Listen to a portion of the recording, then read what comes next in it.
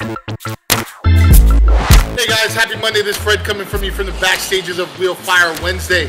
Today I'm featuring here the XD828, which was featured on our last Wednesday show. This thing is pretty awesome. We had so many hits on this wheel about the lip. What does it fit? What kind of tire? This was a wheel that had the super deep 8-inch lip 22 by 14 inches wide, all this good stuff. Different sizes, styles, and bolt patterns. It fits your Dodge, your Jeep, your Chevy, your Ford, we can make this fit pretty much any lifted truck application out there. You want an off-road tire, if you need a stretch tire, the monster big mud tire on it. Give us a call at 866-450-3473. We'll be glad to answer any of your questions on it.